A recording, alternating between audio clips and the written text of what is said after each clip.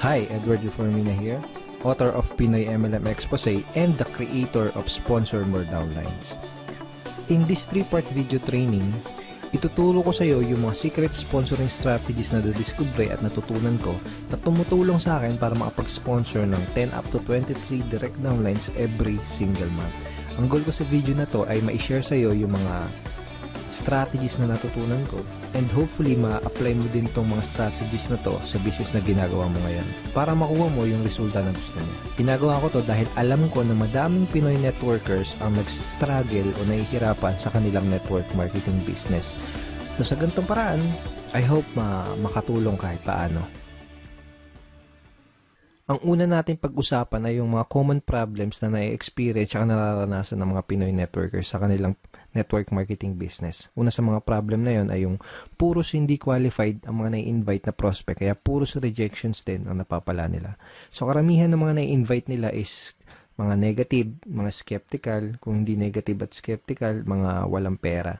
So, ito yung ilan sa mga reason kung bakit puros rejections yung napapala nila do sa mga ini-invite nila. Pangalawang problem is, madami na silang na-invite, pero nahihirapan at wala pa din silang mapajoin. So, na-invite na nila lahat ng mga kakilala, kaibigan at kamag-anak nila, pero nahihirapan silang i-convert yung mga prospects na yon into downlines. Pangatlong problem is, nauubusan sila ng panggalaw. So, yun nga, dahil nga ang dami na nilang na-invite, tapos puros rejection, hirap sila magpasali. Ang nangyayari, mas malaki pa yung ginagastos nila kesa dun sa kinikita nila. At kadalasan, nagkakanda utang-utang pa imbis na kumita. So, ganito yung, ito yung mga ilan sa mga common problems na na-experience sa mga network marketers. Actually, ito din yung mga naging problema ko nung nagsisimula pa lang ako sa network marketing business ko. So, halos, halos araw-araw akong pupunta sa office namin para mag-invite ng mga kakilala at kaibigan ko. And ginawa ko lahat ng mga sinabi at tinuro sa akin ng upline ko. Nag-invite ako ng kung sino-sino, namigay ako sa, ng flyer sa Alsada, sa mga malls, na musakal, nag-house party, nagbahay-bahay, etc. etc. Pero yun nga, puros rejections yung napala ko. At yung puros rejections yung natanggap ko sa mga prospect ko kahit ang dami ko nang in-invite. Karamihan doon sa mga na-invite ko, puros negative, mga skeptical. Yung iba sinabihan ako na scam daw yung ginagawa ko. Yung iba sinabi, balikan ko na lang daw sila kapag may resulta na ako. Yung iba naman, sinabi na yung mga nauna lang kumikita dyan, kung ano-ano pa. Sa madaling salita, puros mga hindi qualified na prospects yung mga na-invite ko. So, yun nangyari sa akin. After 4 months, isa lang yung napasali ko. Actually, itong isang napasali ko na to parang naawa lang siya sa akin kasi nga wala akong mapajoin. Baga parang napilitan lang siya na mag-join sa akin. And dahil nga ganun, hindi ako kumikita sa business ko. Puros failures and rejection nagkanda utang-utang ako kasi dahil syempre kailangan ng panggalaw. Okay? So, nagkanda utang-utang. And then, ang laki ng pera din na nalugi sa akin. So, umabot ng mga nasa 80,000 mahigit or more. Hindi ko na alam. Pero syempre, hindi ako basta-basta sumuko. Ang ginawa ko, naghanap lang ako na naghanap ng mga solusyon do sa mga sa mga problema ko na 'yon. Okay? And thank God, nakahanap naman ako ng solusyon. At pagkatapos kong mahanap yung mga solusyon na yun, pagkatapos kong, maka, pagkatapos kong makadiscover ng mga solusyon do sa problema ko sa business ko, ito yung ilan sa mga nangyari sa akin. I sponsored 63 direct downlines in 4 short months.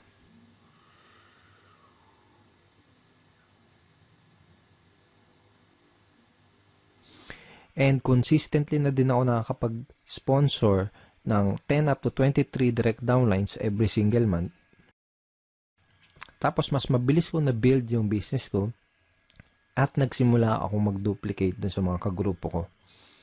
Okay? So, yung mga solutions na natutunan ko, yung mga solution na na-discover ko, yun yung mga pag-uusapan natin sa 3-part video training na to. Yung mga solusyon na yun, yun yung mga matututunan mo sa video training series na to. Okay, so pag-usapan ulit natin yung typical scenario na nangyari sa mga network marketers. So, pumasok sila sa network marketing business nila, first time man or kung may past experience ha. Pero nangyari ganito, excited na excited sila sa una, pump up na pump up sila. So, shinare kagad nila yung business nila sa mga kaibigan, sa mga kakilala, kamag-anak nila. Eh, nag-prospecting agad sila. Nag-prospecting, nag-share na nag-share sa Facebook, invite dito, invite doon, invite sa kal kaliwat kanan yung pag invite Tapos excited na excited sila and pump up sila dahil ang ine-expect nila is makuha na nila yung mga mga pangarap nila. Ine-expect nila is makuha na nila yung mga goals nila. Okay? Pero ang nangyayari, unfortunately, puros rejections, puros failures, at puros frustrations yung na, na sumasalubong sa kanila. Tapos nagtataka sila kung bakit ganun yung nangyayari. Hindi nila alam kung bakit ganun yung nagiging resulta kahit binibigay naman nila lahat ng effort nila. Kahit ginagawa na nila lahat ng mga tinuturo sa kanila. Hindi nila alam na ang tunay na problema kaya sila nahihirapan ang dahilan kung bakit puros rejections ang napapala nila ay dahil hindi nila alam kung paano mag-pre-qualify o mag-sort out ng mga prospects. Kaya nangyayari, madami silang oras, effort at pera na sinasayang sa pakikipag-usap sa mga unqualified na prospects. Hindi din nila alam kung paano sagutin ng tama yung mga common MLM objections. Kaya kahit qualified na yung mga prospect na kausap nila, hindi pa din nila mapajoin dahil sa mga objections na hindi nila nasasagot ng tama. Okay? At hindi nila alam, karamihan, hindi nila alam kung paano mag-close effectively. Kaya kahit madami silang mga prospects na kinakausap, hirap pa din silang makapag-recruit. Bago ko ituro, bago ko i-share sa iyo yung mga solusyon sa mga problema na to, first, I would like you to imagine na nag-apply ka sa McDo, sa McDonald's. Sabihin natin nag-apply ka sa McDonald's tapos natanggap ka, natanggap ka sa trabaho. Pero ito yung scenario.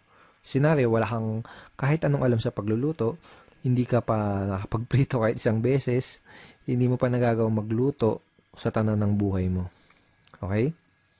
Ngayon, ito yung tanong. Kapag inutusan ka ba ng manager para pumunta doon sa kitchen para magprito ng burger patty, ang tanong is, magagawa mo ba ng tama yung trabaho mo? Yung inutos sa'yo? Malamang hindi kasi nga wala ka pang background, wala ka pang knowledge para gawin yung task na yan. Tingin mo alam mo kung kailan mo babalik ta rin yung burger patty. Tingin mo alam mo kung kailan, kung luto na o kung hilaw pa yung burger patty na niluluto mo. Malamang hindi kasi nga wala ka pa nung idea, wala ka pa nung tamang knowledge para gawin yung trabaho na yun. So, para magawa mo yung trabaho, ang gagawin nila sa totoong buhay, ang gagawin nila sa'yo dito kapag nag-apply ka sa, pag pumasok ka sa McDo, ang gagawin nila sa'yo, bibigyan ka nila ng tamang training. Okay? Bigyan ka nila ng tamang training para magkaroon ka ng tamang knowledge. Pag meron ka na ng tamang knowledge, magkakaroon ka ng tamang skills para magawa mo ng tama yung trabaho mo. So, ganun din dito sa network marketing. Kung gusto mong magawa ng tama ang negosyo mo, kailangan mo ng tamang training at kailangan mong matutunan, kailangan mong matutunan yung mga tamang skills. Lalo na kung first time mo pa lang sa network marketing or kung bago ka pa lang sa business mo. Ang solution dun sa mga pinag-usapan natin kaninang common network marketing problems is to acquire skills. Okay? Kasi kapag meron ka na ng mga tamang skills, tamang network marketing skills, yun yung magiging susi mo para maging successful ka sa network marketing business mo. Okay? Let's face it, kahit ano pang career at kahit ano pang business ang pasukin mo, you need to acquire skills. Kahit yung simpleng pagbabaligtad lang ng burger patty sa McDonald's, kahit yung simpleng ganong trabaho, is kailangan ng tamang skills, kailangan ng tamang training. What more pa kaya yung network marketing business mo, di ba? So, karamihan ng mga networkers parang ganito kasi nangyayari. Para silang sumusugod sa gera na wala silang dalang bala. Kumbaga, hataw sila ng hataw, araw-araw silang humahataw, kahit wala pa sila ng mga necessary skills na kailangan para magkaroon ng resulta at para magawa ng tama yung business nila. Kaya madalas na nangyayari, mas nauuna pa silang mag-quit bago pa nila matutunan yung mga tamang skills. So, kung nahihirapan ka ngayon, kung nahihirapan ka makapag-sponsor, kung nahihirapan ka makapag-recruit, kung nahihirapan ka sa network marketing business mo, yun ay dahil wala ka pa nung mga kinakailangan na skills para maging effective na networker. Kung gusto mo ng resulta sa business mo, aralin mo lang ng mabuti yung mga skills na yun. Ngayon, pag-usapan natin na yung 3 solution skills to success that you need to learn ito na yung mga skills na kailangan mong matutunan. Ito na yung mga skills na kailangan mong ma-master kung gusto mong magkaroon ng resulta sa business mo. Okay, first skill is sorting skill. Second is objection handling. Third is closing skill. Ang una natin pag-usapan ay yung sorting. Bibigyan kita ng magandang analogy para mas ma, mas mag-grasp at mas maintindihan mo na mabuti kung ano ba tong sorting. So sabihin natin may, may nakita kang tatlong mansanas dun sa lamesa. Okay? So gusto mo kumain ng mansanas kaya ang ginawa mo, kumuha ng kutsilyo, hiniwa mo sa gitna yung mansanas. Yung unang mansanas nakita mo, nakita mo, bulok na yung loob niya. So ang ginawa mo, hindi mo kinain. Okay? Pangalawang mansanas na hiniwa mo, nakita mo may uod yung loob. So ang ginawa mo, hindi mo din kinain. Okay? Yung pangatlong mansanas na hiniwa mo, nakita mo okay na okay na siya hinug na, at pwedeng-pwede nang kainin. So, yun ang kinain mo. Yun lang yung kinain mo. So, ang ginawa mo, hindi mo kinain yung naunang dalawang mansanas kasi nalaman mo kaagad na hindi sila maganda kainin tsaka baka ma- magkasakit ka pa. Okay? Ganun yung sorting. Pwede mong i-apply to sa network marketing business mo. Pwedeng sa simula pa lang, pwedeng sa una pa lang ay malaman mo na kagad kung sino lang ba yung mga qualified dun sa lahat ng mga prospect na kinakausap mo. Para mag invest ka lang ng oras, ng effort, tsaka ng pera mo doon sa mga qualified na prospect. Napaka-importante na matutunan mo ang skill na to kasi kapag marunong ka mag-sorting, hindi ka na mag-aaksaya ng oras, effort at pera para lang kausapin yung mga hindi qualified na prospects. Okay? Pag marunong ka mag-sorting, mas makakapag-save ka ng valuable time mo dahil ang mga kakausapin mo lang ay yung mga taong gustong makinig ng business presentation mo at ng mga sasabihin mo. Mas less din yung magiging rejection mo dahil masasala mo ng maigi yung mga makakausap mo at madadala mo sa opisina nyo. Ngayon, tatanungin kita, sino mas gusto mong kausapin? Sino mas gusto mong uh, entertainin? Sino yung mas gusto mong dalhin sa opisina nyo? Yung mga taong walang idea sa pupuntahan nyo, yung mga negative, mga skeptical, yung mga walang pang-invest, o yung mga qualified, open-minded, at may mga desire maging successful na prospect na interesadong malaman ang opportunity mo. Okay? So, di na kailangan tanungin, di ba? You can easily sort your prospects by identifying the reason why. Madali mong masusort out yung mga prospects na kinakausap mo. Ang kailangan mo lang gawin is alamin mo kung mayroon ba silang sapat na reason why, kung mayroon, kung ano ba yung reason why nila, kung may maganda ba silang reason why para maging part ng business mo. Okay?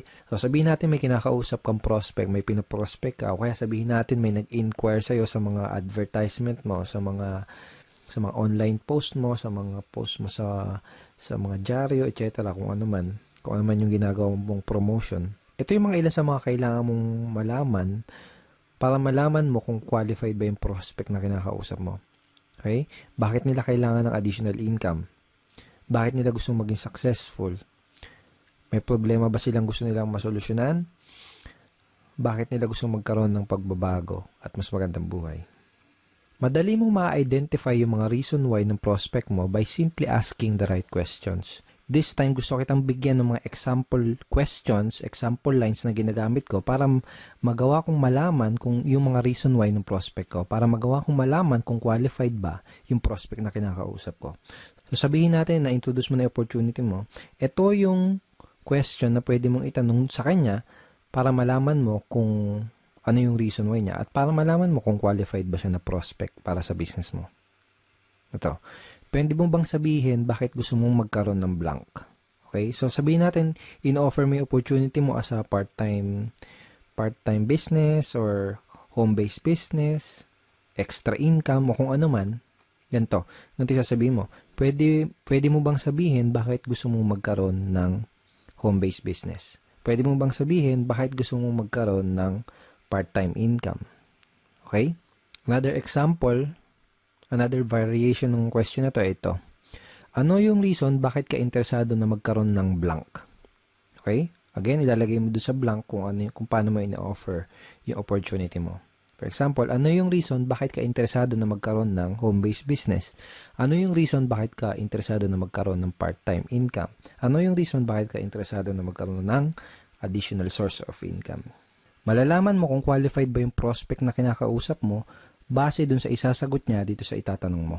Kapag tinanong mo sa prospect mo to, ganito yung pwedeng isagot niya sa'yo. Okay. So, basically, this is a screenshot ng chat conversation, chat conversation ko with the, with the prospect. Basically, may kinakausap akong prospect sa Facebook and gusto kong malaman kung qualified ba siya na prospect para sa business ko. Kaya tinanong ko, ito, bakit mo gustong magkaroon ng additional source of income? So, ang sinagot niya, first reason is family. Okay? And sinabi niya din na lumalaki na yung family ko. I have one daughter and incoming baby this May 2013. So basically, ang nangyari, sinabi niya sa akin yung reason why niya kung bakit niya gusto magkaroon ng additional source of income. Nalaman ko na qualified siya na prospect dahil meron siyang sapat at magandang reason why para gawin yung negosyo. Okay, nalaman ko na na kailangan niya ng dagdag na income kasi nga lumalaki na yung family niya. So, lumalaki na yung mga bills na babayaran niya, uh, mga nganak yung misis niya, etc. So, sa madaling salita, nalaman ko na qualified siya na prospect by simply asking these questions. Okay. Lahat ng prospect na kinakausap ko, inaalam ko muna ng maigi kung meron ba silang maganda o sapat na reason why. Doon ko kasi malalaman kung qualified ba sila na prospect o hindi. Alam ko kasi na kung wala silang mabibigay na magandang reason why or sapat na reason why, hindi rin sila mamomotivate na mag-take ng action. Hindi sila mamomotivate na mag-join, hindi sila mamomotivate na maglabas ng kapital. Baga wala silang sapat na reason why para magsimula ng isang network marketing business. Kung wala silang magandang, kung wala silang mabibigay sa akin na magandang reason why or sapat na reason why, hindi ako mag-aaksaya ng panahon para explainan pa sila, para dalhin pa sila sa office. That is how I sort my prospects and that is how I qualify my prospects. Okay, so possible scenario, sabihin natin na tinanong mo na to sa tong questions na to sa prospect mo, pero sabihin natin ang nangyari ay hindi kagad siya nag-open up sa'yo. Sabihin natin na hindi niya kagad sinabi sa'yo yung reason why niya. Posible kasi na mangyari yon lalo na kung kakikilala mo pa lang sa kanya o kaya hindi ka pa nakakapag-build ng report posible na kapag tinanong mo sa kanya tong questions na to, itong ano yung reason baka, bakit ka interesado na magkaroon ng additional source of income, posible na yung isagot niya lang sa'yo ay parang yung mga wala lang. Gusto ko lang kumita ng additional income. Pwedeng ganun. So, walang sapat na reason why, di ba? O kaya naman, pwedeng ang isagot niya ay wala lang. Sino ba naman ang ayaw kumita ng additional income? Parang ganun. So, wala ding sapat na reason why. Ang questions na pwede mong itanong do sa prospect mo para magawa mong uh, mag-open up siya sa'yo at para magawa mong ma-identify yung reason why niya ay itong mga questions na to. Ito. Sabihin natin na kumikita ka na ng part-time income, magkano yung magkano ang gusto mong kitain on a monthly basis? O kaya magkano ang gusto mong kitain na additional income per month? Parang ganoon. Kapag tinanong mo sa prospect mo to, gagawin niya is magbibigay siya sa iyo ng figures Uh, usually, sasabihin nilang ng prospect is uh, 10,000 per month, 20,000 per month, 50,000 per month, or 100,000 per month. Iba-iba. Okay, so kahit na anong ibigay niya sa yung figure, ito yung next na question na pwede mong itanong sa kanya. Ito. Kapag kumikita ka na ng blank, kung magkano yung binigay niya sa yung income na gusto nilang kitain, kapag kumikita ka na ng 20,000 na monthly income, ano yung pinakamalaking maitutulong nun para sa iyo? O kaya, ano yung pinakamalaking maitutulong nun para sa iyo at sa pamilya mo? By this time, kailangan may maibigay na sa yung magandang reason why yung prospect mo para malaman mo at matansya mo kung qualified ba siya na prospect o hindi para sa business mo. So, I will show you another example. So, basically, may kinakausap ulit akong prospect via Facebook chat. And, and by the way, um, napakita ko sa iyo mga example is Facebook chat pero obviously dapat gamitin mo din to sa face-to-face or one-on-one or table talk conversation. Okay? So, again, may kinakausap ako na prospect via chat. Tinanong ko siya kung ano yung reason bakit niya gusto magkaroon ng additional income pero wala siya ng wala siya nabigay sa akin na magandang reason why. Hindi niya hindi kagad siya nag-open up sa akin. So, ang ginawa ko, tinanong ko kung magkano ba yung additional income na gusto niyang kintain on a monthly basis. Ang sinagot niya sa akin, 10,000 per month. Kaya tinanong ko sa kanya itong question na to. Okay, sabihin natin na kumikita ka na ng 10,000 na monthly income. Ano yung pinakamalaki may tutulong nun para sa'yo? Ang sinagot niya, sa pag-aaral po, pang araw-araw na gastos sa bahay, and sabi niya, nakikitira lang po kasi ako sa kamag-anak ko. So, by asking this simple question, napakasimpleng question lang naman, di ba? Pero very, very powerful in terms of identifying your prospects reason why. And very powerful para magawa mong ma- mag-open up sa yung prospect mo. So by asking this simple question, nagawa akong mag-open up yung prospect at nalaman ko na qualified pala siya dahil may maganda at sapat na reason why pala siya para gawin yung business. So pag alam mo na yung reason why ng prospect mo, pwede ka na mag-move on dun sa next step which is to introduce him or her dun sa business opportunity na ina-offer mo. So kapag alam mo na yung reason why ng prospect mo, kapag alam mo na yung gusto niyang monthly income na kitain, ito yung line na pwede mong gamitin para madali mong ma-invite yung prospect mo doon sa inyong business opportunity meeting or BOM, sa inyong seminar or online video, kung ano man. Depende sa company nyo every company, iba-iba yung sistema nila. Okay, so ito yung line na pwede mong gamitin. Kung may maipapakita ako sa yung paraan na pwede kang kumita ng blank per month doing part-time para their why, isisingit mo dyan yung reason why na sinabi sa'yo ng prospect mo. Willing ka bang tignan kung ano yun? So for example, kung may mapapakita ako sa yung paraan na pwede kang kumita ng 20,000 per month na income doing part-time para magawa mong matulungan yung asawa mo sa mga gastusin nyo or para magawa mong mabayaran lahat ng mga pagkakautang nyo or para makatulong ka sa mga magulang mo, willing ka bang tignan kung ano yun? Kapag tinanong mo sa prospect mo tong question na to, ano sa tingin mo yung isasagot niya sa'yo? Tingin mo sasagot, sasagutin ka niya ng hindi ah, ako willing tignan yan? Wala akong time. Ganun ba yung sasagot niya? Most likely, ang sasagot niya sa'yo is positive answer. Ang pwedeng isagot sa'yo ng prospect mo ay tulad ng, sige, willing akong tignan kung ano yan. O kaya, mukhang okay yan ah. Ano ba yan? Sige, willing akong tignan kung ano yan. Para mga ganun.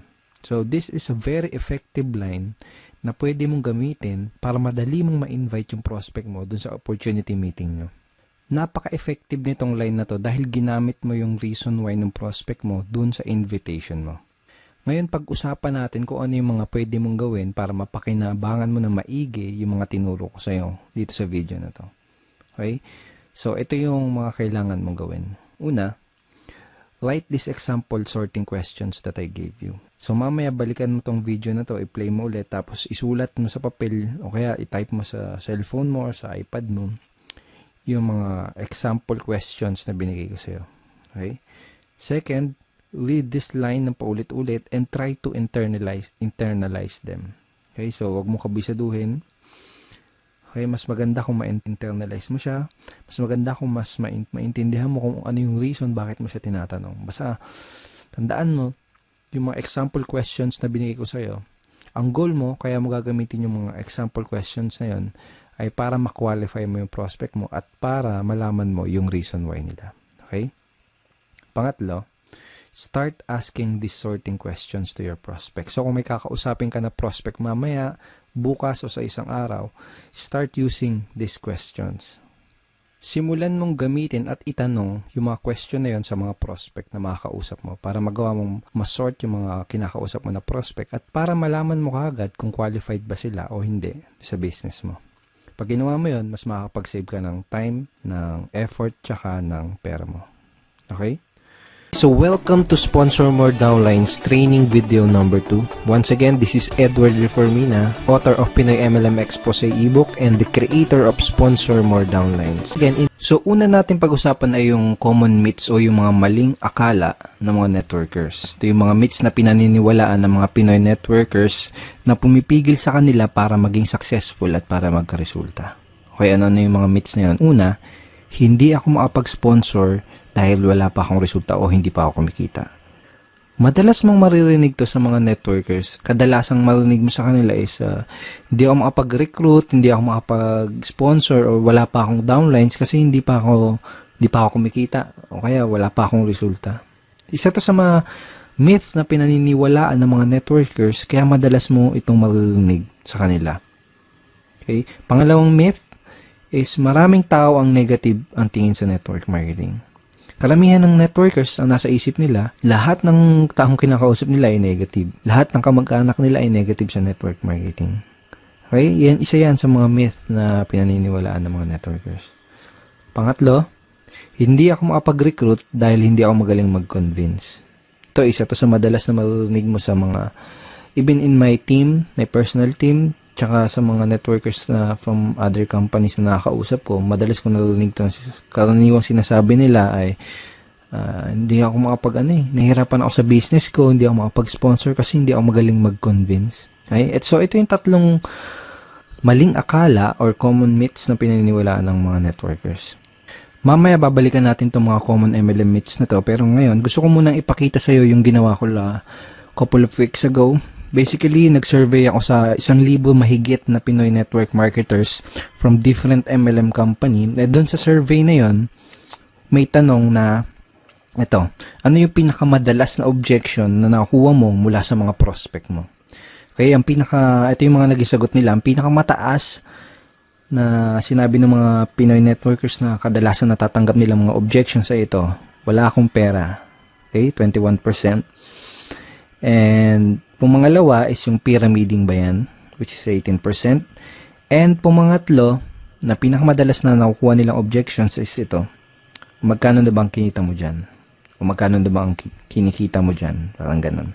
Kung titignan mo yung resulta dito sa survey na to, makikita mo na related yung mga objections na natatanggap ng mga Pinoy networkers dito sa mga common MLM myths na pinaniniwalaan ng karamihan networkers.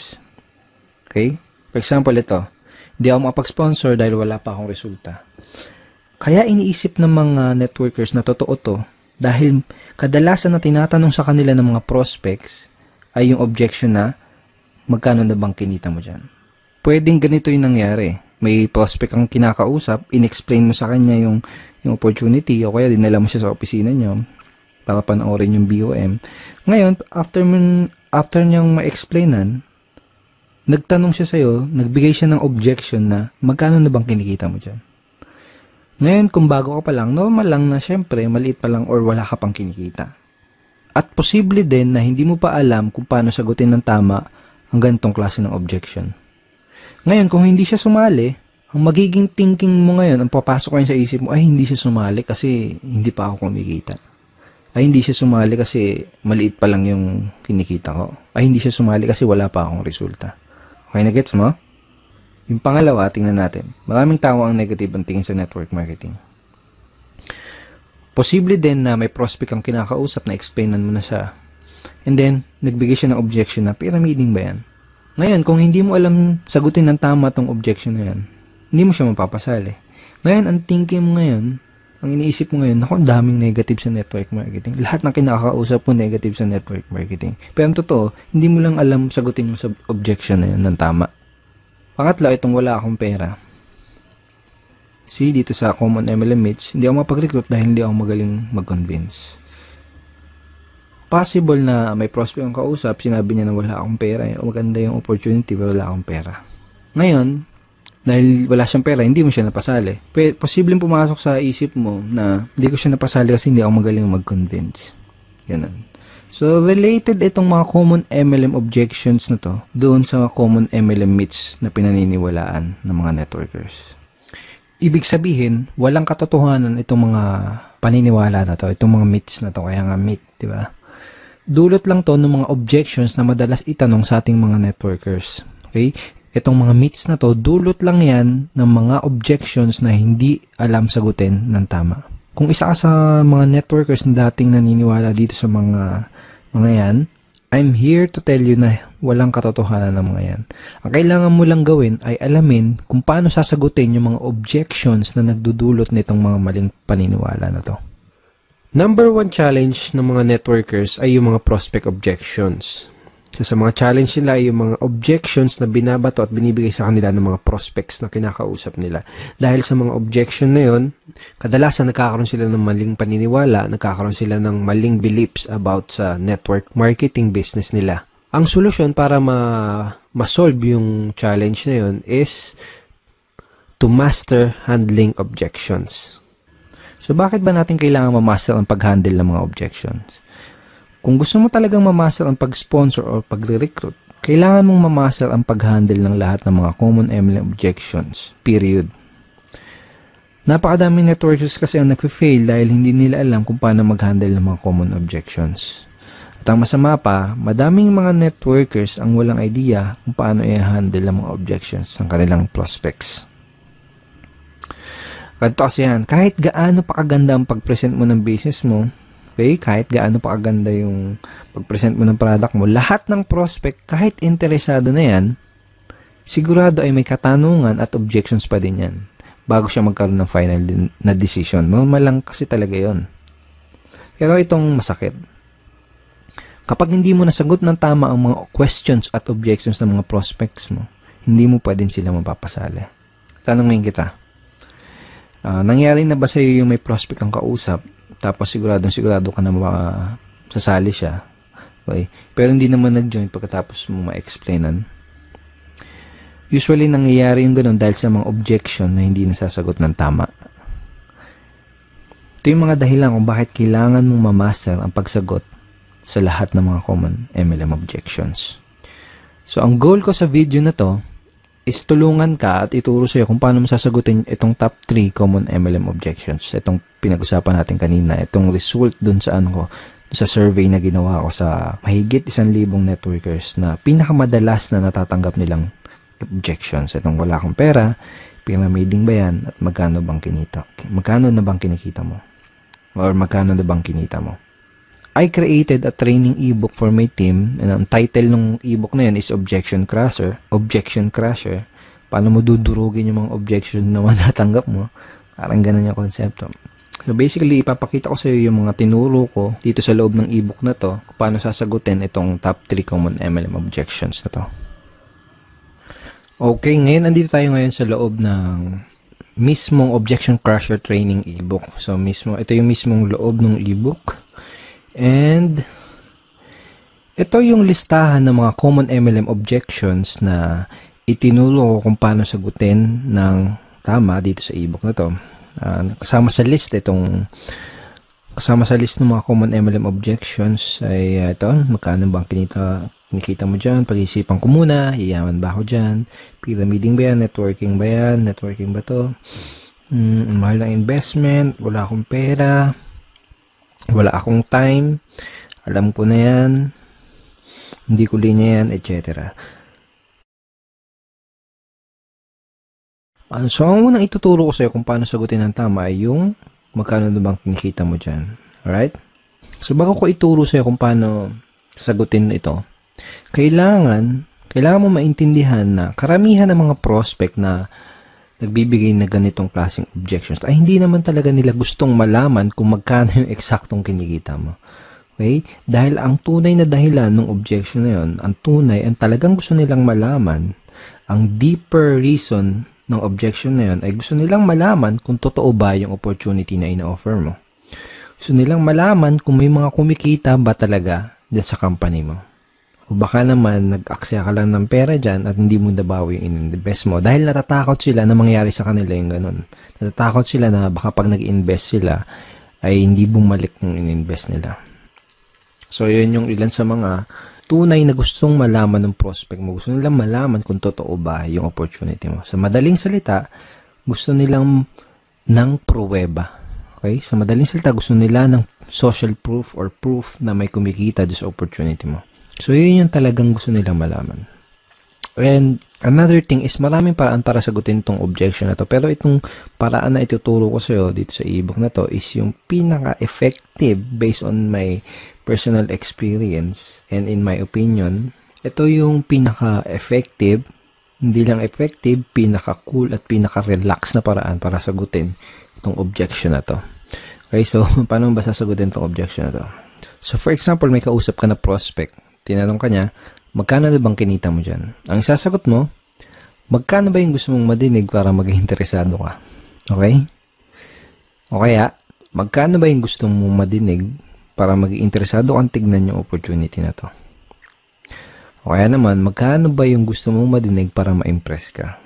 Okay, sa una, kailangan ng, ng konting lakas ng loob kung gagamitin mo tong lines na to.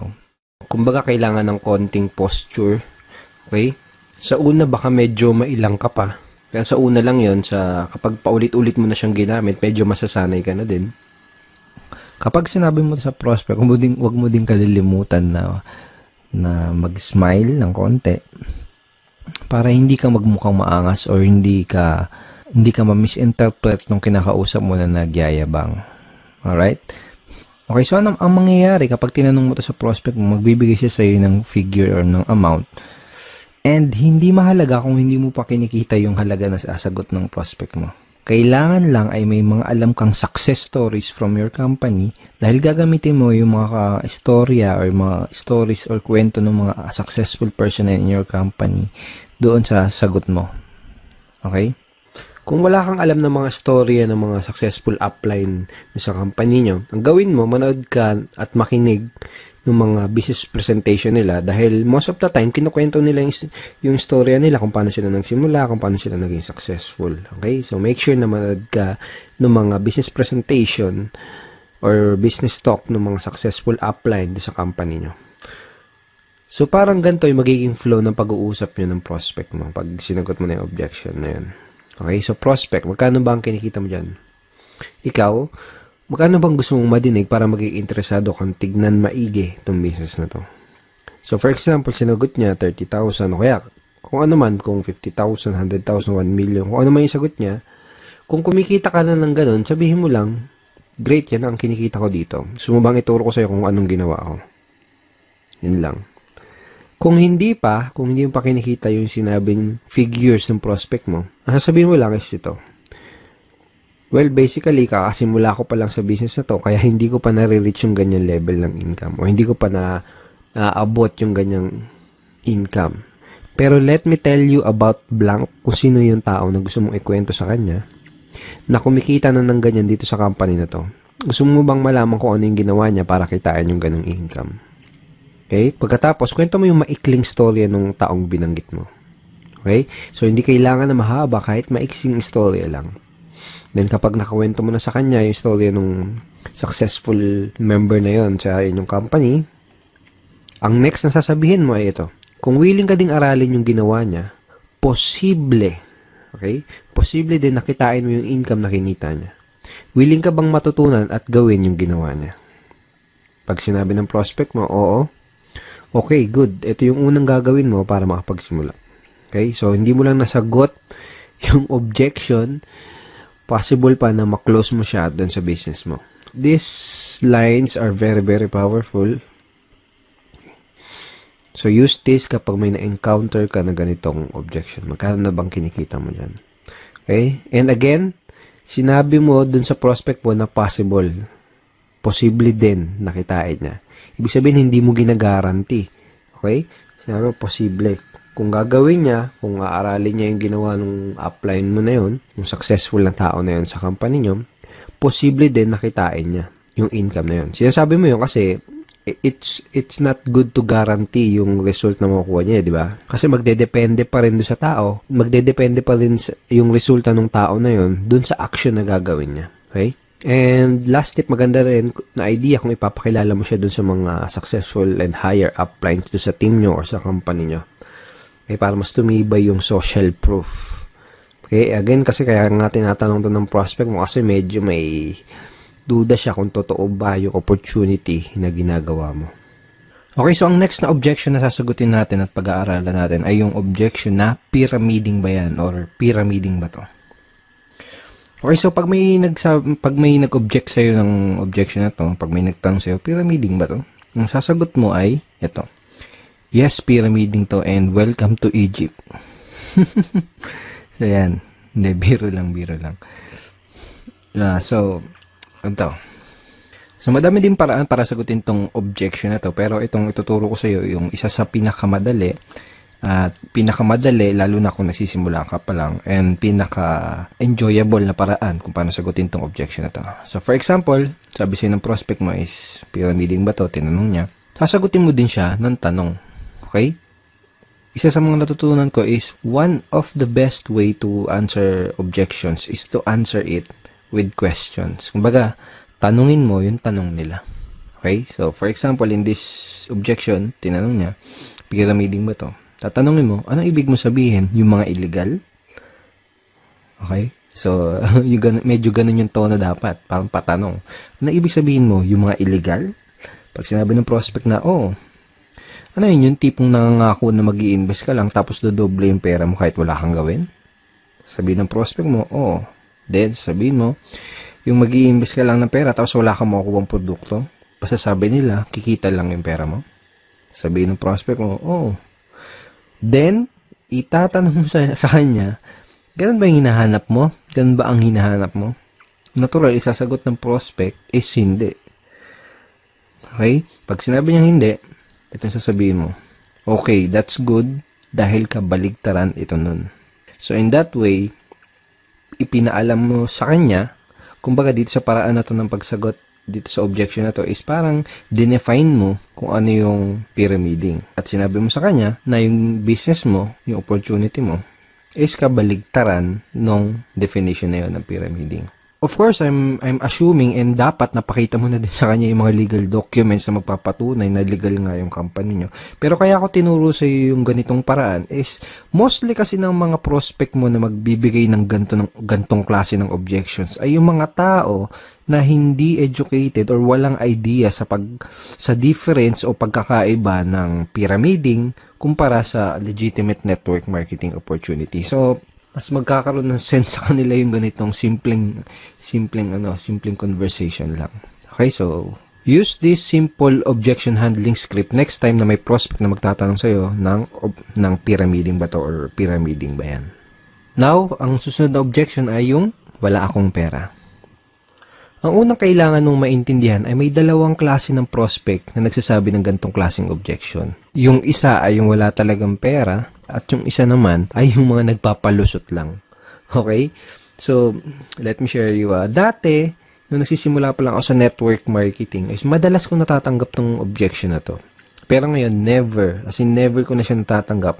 Dahil remembers dun sa training video number 1 natin, chinare ko sa iyo, at uh, sinabi ko sa iyo na kina-qualify o sinusort out ko maigi yung prospect ko bago ko ipakita sa kanya yung business of business presentation ko. Kumbaga kung kung wala silang sapat na reason why, hindi ako mag-aaksaya ng panahon para ipakita pa sa kanila yung business dahil alam ko na mag-aaksaya lang ako ng oras at mag alam ko na magpapalusot magpapalusot lang sila. So kung kung may nagbigay sa iyo ng ganitong klase ng objection, ang unang kailangan mong malaman is kailangan malaman mo kung, nag, kung nagsasabi ba sila ng totoo or kung nagpapalusot lang ba sila. So, paano mo malalaman yun? Tatanungin mo sila. Okay, tatanungin mo sila kung totoo ba na wala silang pera. So, paano mo gagawin yun? Ganito, simple lang. Pag sinabi ng prospect na wala silang pera, tatanungin mo sila, pwede bang magtanong? Tanong mo, okay lang ba sa'yo kung magtapatan tayo sa isa't isa? Ibig mo bang sabihin ay interesado ka sa business na to pero wala ka lang pera? O sinasabi mo lang na wala kang pera dahil mabait ka lang na tao at ayaw mo kong ma-offend kaya hindi mo kagad masabi na hindi ka interesado? Okay? So make sure to smile again. Kapag sinabi nila na hindi talaga sila interesado, just let them go. That person is not right for your business. Sabi, pwede mong sabihin na I understand, hindi naman kasi talaga para sa lahat ng business na to ang hinahanap lang namin ay interesado at yung talagang pwedeng matulungan na opportunity na to. And thank you for your time. Ganun lang. Be professional. Okay? Hindi mo kailangan ipagpilitan yung opportunity mo dahil network marketing is a sorting business. Okay? Naghanap lang tayo ng mga tao na mag magiging interested dun sa ino-offer natin. Alright? So, kung for example, kung sinabi naman ng prospect na interesado talaga siya pero wala lang talaga, wala lang talaga siyang pera, Ganito yung pwede mo sabihin sa kanya. Okay, so ganito. Unang gagawin mo is may kisimpat ka or may kisympathize ka dun sa sa situation ng prospect mo. Parang ganito. Uh, naintindihan ko yung sitwasyon mo. Nung una ko nakita tong business na to, ganyan din yung sitwasyon ko at ganyan din yung sinabi ko. Wala akong pera. Pero na-realize ko, kung wala akong gagawin na paraan at kung wala akong gagawing bago, wala din mangyayaring bago. Kung 5 years ago sinasabi ko yung salitang wala akong pera, malamang 5 years from now ay paulit-ulit ko pa din sasabihin yung salitang wala akong pera. Kaya ang ginawa ko, gumawa ako ng paraan. Tapos, ikwento mo sa prospect mo kung ano yung ginawa mo paraan para makapag-start no, ng business. Well, obviously, sasabihin mo sa prospect mo to kung medyo ganito yung nangyari sa'yo bago ka magsimula ng network marketing business mo. For, pero, pero for example, kung hindi ganito yung situation mo na nag-start ka ng network marketing, pwede mong gamitin or pwede mong i-leverage yung mga story ng mga ibang members sa team nyo or ibang members sa company nyo. For example, ganito, uh, naiintindihan ko ang sitwasyon mo, maraming tao ang ganyan din yung sitwasyon nung una nilang nakita tong business na to. Sinabi din nila na wala silang pera. Pero na-realize nila, wala silang gagawin na paraan at kung wala silang gagawin bago, wala din mangyayari sa kanilang bago. Kung 5 years ago, sinasabi nila na wala silang pera, malamang 5 years from now, paulit-ulit pa din nila sasabihin yung, yung salitang wala silang pera. Kaya ang ginawa nila, gumawa sila ng paraan. Katapos, ikwento mo yung yung story ano, ng other members from your team or members from your your company. Okay? Pagkatapos, pagkatapos mo nang ikwento yung ginawa mong paraan or yung ginawang paraan nung ibang member sa team nyo, ito yung next na sasabihin mo sa kanya. Ito yung gusto kong itanong sa'yo. Gusto mo ba na habang buhay mo nalang sasabihin yung salita na yan? Wala akong pera. Okay, di isasagot sa'yo ng prospect mo. Eh, syempre hindi. ba? Diba? Then, tatanong mo sa kanya, ano yung pwede mong gawin na paraan? Okay? So, siya na mismo magsasabi sa'yo ng paraan na pwede niya gawin para makapag-start ng business. So, simple lang, di ba? Kayang-kayang i-apply. Okay? So, use this scripts, use this way of handling objection next time na may magsasabi sa iyo ng objection na wala silang pera. Of course, kailangan mo practicein yan sa unang sa unang bagsak mo, sa unang best mong gagamitin yan, medyo magkakamali-mali ka pa. Okay? Okay? It takes practice. Natural lang yun sa unang magkakamali ka. But use it ng paulit-ulit para masanay ka and na ma-internalize mo yung pinaka-approach or yung strategy. So, thank you so much for watching our training video number 2. I hope madami kang natutunan at I hope ma-apply mo kagad itong mga bago mong nalalaman sa business mo. Okay? At may isa pa akong good. Welcome back to our training video number 3. Once a training video number 2, pinag-usapan natin yung mga common MLM myths na pinaniniwalaan ng mga Pinoy networkers na pumipigil sa kanila para magkaroon ng resulta at maging successful sa kanilang mga business. Tinuro ko din do sa training video number 2 kung paano mo sasagutin yung top 3 most common MLM objections. So ngayong araw na to, this, in this video, pag-uusapan natin yung pinaka-importanting skill na kailangan mong matutunan as a network marketer. At yun ay ang closing skill. So bakit ba napaka-importante na matutunan natin at ma-master natin itong closing na to? Let me tell you a true story. Nung unang na-introduce sa akin ang network marketing, naisip ko kagad kung sino-sino yung mga tao na pwede kong matulungan do sa magiging network marketing or MLM business ko. Isa sa unang pumasok sa isip ko ay yung classmate ko nung college. Alam ko kasi yung hirap niya sa buhay. Baga siya yung sumusuporta sa mga magulang niya. Siya yung sumusuporta na sa buong pamilya niya. Siya yung, siya yung nagpapaaral ng mga kapatid niya. Gustong gusto ko siyang mapasali sa business ko dahil alam ko na malaki yung maitutulong sa kanya at sa pamilya ng, niya ng opportunity ko. Kaya ang ginawa ko, in-invite ko siya doon sa opportunity meeting ng company namin. Baga, sinet up ko siya ng appointment, nilibot ko siya doon sa opisina, pinakilala ko pa siya doon sa mga ibang partners namin. Kaso, hindi lang pala ganun kasimple. Hindi pala porket may intention kang tumulong ay magagawa mo na. To make the story short, hindi ko siya na-close sa business ko dahil wala pa akong kaalam-alam kung paano mag-close ng prospect. Wala akong kahit anong skill sa pag-close ng mga prospects. So sa madaling salita, hindi ko siya natulungan. Okay? Hindi ko siya natulungan. So kung kung katulad mo ako, nasa network marketing ako dahil nagustuhan ko yung idea na pwede kang maging successful habang nakakatulong ka din sa ibang tao. Mga sabi nga nila, network marketing is a people helping people business. Tama? Pero ito ang tatandaan mo. Kahit gaano pa kaganda ang intention mo na makatulong, hindi mo magagawang matulungan ang isang tao gamit ang opportunity mo. Hindi mo matutulungan yung mga kakilala, kaibigan o kamag-anak mo hanggat hindi mo siya nai-sponsor o nare-recruit sa business mo. Hindi mo siya matutulungan hanggat hindi mo siya nako-close. Hindi mo siya matutulungan hanggat hindi mo siya nagiging downline.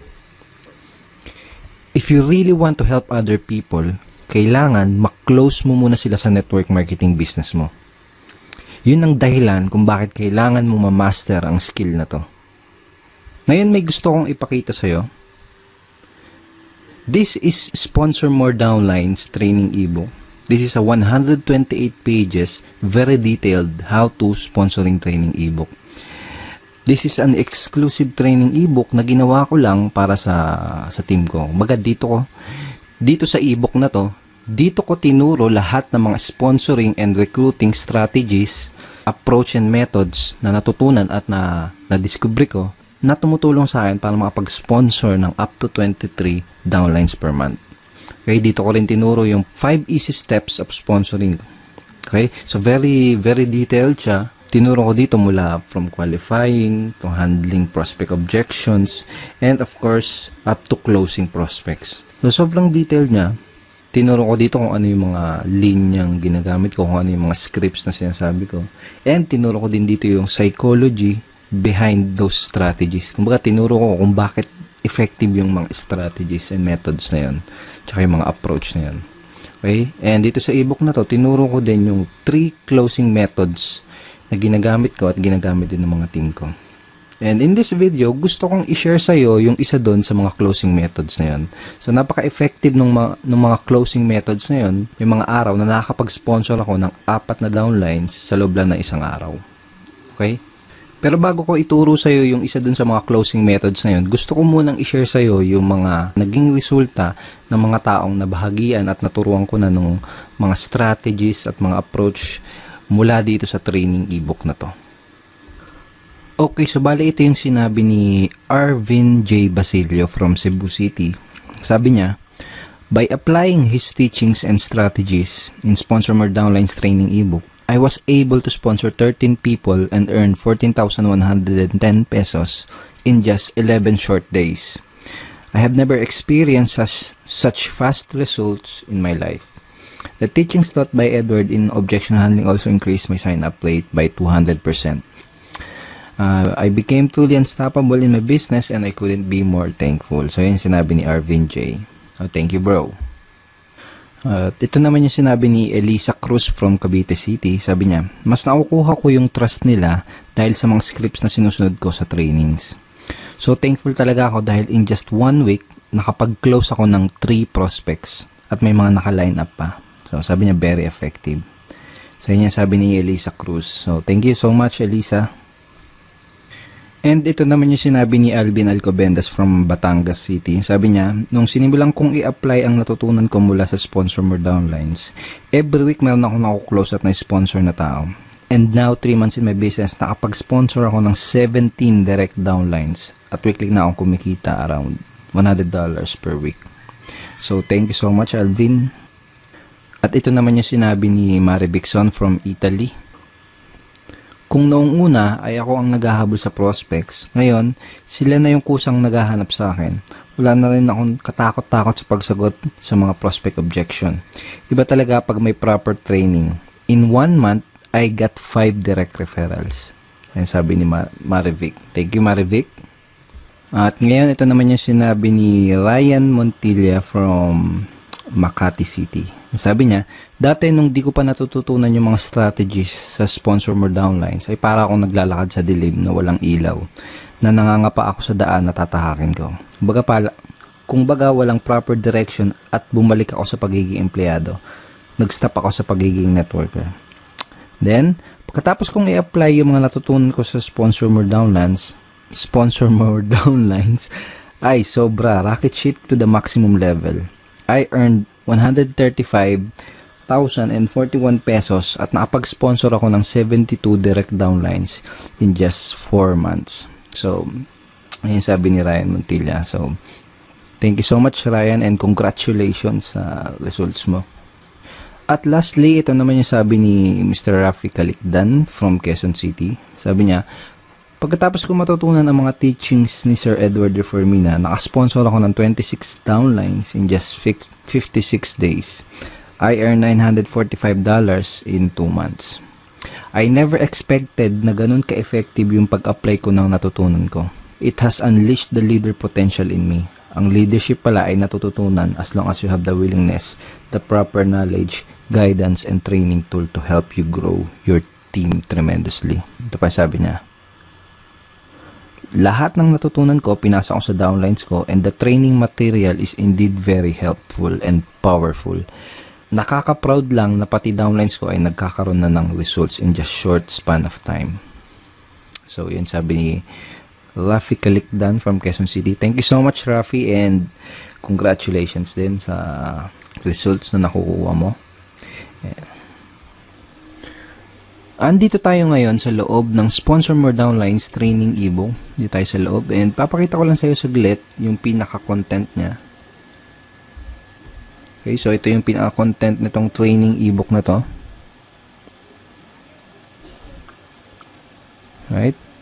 So dito sa dito sa three closing methods, itong the consultant close ang gusto kong i-share sa iyo. Alright, so simulan na natin ngayon. Ah, dito sa closing method na to, baga parang boss na boss yung dating mo. Okay? Para ka lang nag interview ng mga nag apply ng trabaho. So, para kang nag interview ng prospects. Okay? Yun yung parang ano niya, yung magiging flow niya. Pero ang kagandahan at saka pinaka nagustuhan ko dito sa method na to, bukod sa napaka-effective niya, ay napaka-simple at madaling i-execute. So, perfect to, lalo na kung nagsisimula ka pa lang or kung bago ka pa lang na networker. Okay? So, kung nasisimula ka pa lang, kayang-kaya mo kagad i-apply or i-execute kagad ang closing method na to. Pero kung matagal ka na sa network marketing, well, that's much better. Actually, mas maganda yun kasi, kumbaga, solid na solid na yung confidence mo for sure. Kumbaga, mas madi-deliver mo na tong, tong method na to ng smoothly at mas, ano, may execute mo siya ng mas maganda at mas maayos. Okay, pero uh, don't underestimate the simplicity of this approach and this method kasi kahit napaka-simple niya, ay napaka-effective at powerful niya. Okay? So, for example, uh, napanood na ng prospect mo or nakita na ng prospect mo yung business opportunity presentation ng company niyo. For example, tapos na siyang umaten ng seminar or tapos niya nang makita yung, yung video presentation niyo. Parang ganito yung magiging flow ng pag interview mo dun sa prospect mo. Okay, so ito yung sasabihin mo sa kanya. Base dito sa mga nakita mo, tingin mo ba or naniniwala ka ba? Ganon.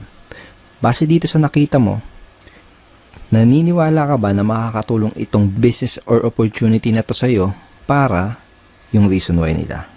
Okay? So, make sure na bago ka mag-close is alam mo yung reason why ng prospect mo. Napaka-importante I cannot tell you how important na malaman mo yung reason why ng prospect mo. Okay, so for example, ganito. Base dito sa mga nakita mo, base dito sa napanood mo, naniniwala ka ba na makakatulong itong opportunity na to sa'yo para mapatapos mo ng pag-aaral yung mga anak mo? Okay? Parang ganun. Base dito sa mga napanood mo, tingin mo ba makakatulong itong business na to para matulungan mo yung asawa mo sa mga gastusin nyo sa bahay? Parang ganun. Okay? Pag sinabi ng prospect mo, oo, tingin ko makakatulong itong business na to. So, yun mo sa kanya, itanong mo sa kanya, magkano yung gusto mong kitain kada buwan working part-time? Or full-time, kung gusto niya ng full-time. Okay? So, for example, ito yung sinagot ng prospect mo, kahit siguro mga 20,000 lang muna na monthly income. Sabi mo, okay, that's good. Mga ilang oras kada araw o linggo ang pwede mong ilaan para sa business na to para ma-achieve mo yung 20,000 per month na income. Okay, so sasagutin ka niya ng kung ilang oras. Sabihin niya, sabihin natin, ang sinagot niya is mga 2 to 3 hours per day lang muna. Ganon. Sabihin natin, ganun yung sinagot niya. Ang next na sasabihin mo ay ito. Okay, sabihin natin na kumikita ka na ng 20,000 pesos na monthly income working 2 to 3 hours per day. Ano yung iba pang magiging benefit nun para sa'yo at sa family mo? Okay? So, using these lines, unti-unti nang kinoklose ng prospect mo yung sarili niya do sa business mo. Baga siya na yung mismo kasi nagsasabi ng mga benefit na makukuha niya eh, doon sa opportunity mo eh, di ba? So, napaka-powerful talaga nito. Okay? So, ngayon, ah, sabihin natin, sinagot niya na, ah, oo, ito, ito yung mga magandang magiging benefit yan para sa akin. Tapos, ang tatanong mo sa kanya, pag nasabi niya na sa iyo yung mga benefit na makukuha niya sa opportunity, ito yung next na itatanong mo sa kanya. May mga gusto ko pa bang itanong bago ka magsimula? Okay? O kaya ano yung mga questions na gusto mong masagot ko bago ka makapagsimula? Or, bago ka magsimula sa business na to, may gusto ka pa bang malaman? Okay? Kapag sinabi ng prospect mo na kapag may basta kung may mga remaining questions pa siya, ang goal mo is masagot lang yung mga question na yun. Okay? Ang goal naman kasi talaga natin is mabigay lahat ng mga mga kinakailangan na information para makagawa ng inform at sariling decision yung prospect natin. Okay? So, for example, nag-object, may objection pa siyang natitira, kung may question pa siyang natitira, ang goal mo lang is masagot yun. So, make sure to, na napanood mo din yung video training number 2 natin dahil tinuro ko sa iyo yung mga common, dahil tinuro ko dun sa video training na kung paano masasagutin yung mga most common MLM objections. So, for example, sinabi na ng prospect mo na wala na, wala naman na, baga wala na siyang question. Ang magiging closing line mo ay ito. Okay? Sounds to me na ready ka nang mag-join. O kaya naman ay ito. Mukhang handa ka nang magsimula. Tama ba? Kaya, ano, mukhang handa ka nang magsimula sa business na to. Tama ba? Pag sinabi mo yun sa prospect mo, pakinggan mo kung ano yung isasagot nila. Kasi doon mo malalaman kung may mga tanong pa sila or kung may mga objections pa sila. Okay? Kung wala na silang tanong, kung wala na silang tanong, sasabihin lang nila, parang ganito, oo, ready na ako. Or paano ba magsimula? Okay? Kapag tinanong nila na ganun, kapag tinanong ka na nila kung paano ba magsisimula sa business mo, sabihin mo lang, okay, ganito yung next step na gagawin mo para makapagsimula ka na kaagad. Parang ganun. Okay? Okay, let me show you yung mga next steps na gagawin mo para makapagsimula ka na kaagad. Okay? So, ganun, i-guide mo na siya sa pag-sign up do sa business opportunity nyo. Paano, kung paano ba yung sign up process nyo. Ituro mo na sa kanya step by step na gagawin niya para makasali as soon as possible. So, ganun lang siya kasimple. Di ba sabi ko kanina na very simple lang siya pero very effective. Pero ang kagandahan, pwede mo agad siyang i-apply at magamit sa business na ginagawa mo ngayon. And uh, may mga ibang nagtatanong uh, natanong nila sa akin na uh, paano kung ano, paano kung iba yung isagot nila do sa itatanong ko. Okay, for example, tinanong ko to, tapos iba yun naman yung sinagot nila, hindi kagaya ng mga example na binigay ko. Well, uh, to tell you honestly, hindi naman kasi importante yung mga script eh. Kaya ang importante is yung psychology sa likod ng ano, kung ba, kumbaga, ano yung reason kung bakit mo tinatanong yung mga questions? Anong reason kung bakit mo sinasabi yung mga mga example scripts na to. For, for example, ito. Itong, okay, ganito yung next step na gagawin mo para mapagsimula ka na kagad. Basically, kapag sinabi mo yung ganito sa prospect mo, you are showing leadership. Kumbaga, tinuturuan mo siya, ginaguide mo siya. You're showing that you are a true leader. Napakita mo sa kanya na isa kang leader na kaya siyang i-guide sa proseso or do sa business. Parang ganon. Okay? mas importante yung ano, yung maintindihan mo or ma-internalize mo kung bakit mo sinasabi yung itong mga scripts na to. Okay? Kasi kapag naintindihan mo na ng maigi kung ano yung reason kung bakit mo sinasabi yung mga mga lines or script na yan, doon darating yung point na makakapag-improvise ka na ng mga sasabihin mo doon sa prospect na kinakausap mo. Okay, so ito yung uh, consultant close method. Ito yung isa sa mga closing method na ginagamit ko para makapag-sponsor ng madaming downline sa aking business. Okay? Ito yung isa sa mga closing method na tinuro ko dito sa loob ng Sponsor More Downlines training ebook. So make sure na i-apply mo kagad itong method na to sa business mo. Kung may kakausapin ka mamayang prospect, kung may kakausapin bukas, sa isang araw, make sure na gamitin mo agad itong mga lines na to para ma-practice mo kagad para masanay ka agad, para ma-internalize mo agad yung method, at para ikaw mismo makita mo din yung response at yung magiging resulta kapag ginamit mo tong, tong closing method na to. So I hope madami kang natutunan dito sa 3-part video training series natin and I hope ay nag-enjoy ka sa panonood nitong 3 videos na to dahil ako mismo nag-enjoy ako sa paggawa nitong 3-part video training series na to para sa iyo. At ngayon ang kailangan mo na lang gawin ay i-apply ang lahat ng mga natutunan mo mula dito sa training series natin. Pero syempre, hindi dito natatapos yung pag-aaral mo. Baga, hindi dito natatapos yung pag-educate mo sa sarili mo. Because network marketing is a continuous learning journey. Sabi nga nila, if you stop learning, you stop earning as well. So, dapat tuloy-tuloy. Dapat tuloy-tuloy yung pag-increase mo ng mga nalalaman mo. Dapat tuloy-tuloy yung pag-increase mo ng knowledge mo. At kapag ginawa mo yon, makakapag-acquire ka ng mga necessary skills, mga skills na tutulong sa iyo para magka-resulta, para maging successful dyan sa business mo. Okay? So may gusto akong ikwento sa iyo, maiksing kwento lang to. And I'm sure may mapapulot kang magandang aral sa kwento na to. Pwede rin na narinig mo na to before, pero ito kwento ko pa din. Tungkol to sa isang lalaki na naglalakad sa kagubatan. So, naglalakad siya sa gubat. And habang naglalakad siya, may nakita siyang isang mangangahoy na nagpuputol ng puno. Okay? Nakita niya yung mga ngahoy na yon na pagod na pagod at hirap na sa pagputol ng puno. Tagaktak yung pawis at napapamura pa sa hirap yung mga ngahoy habang pinuputol niya yung puno. Ngayon, nagtaka yung lalaki na nakakita sa kanya sa mga ngahoy. Ginawa niya, tinanong niya yung lalaki.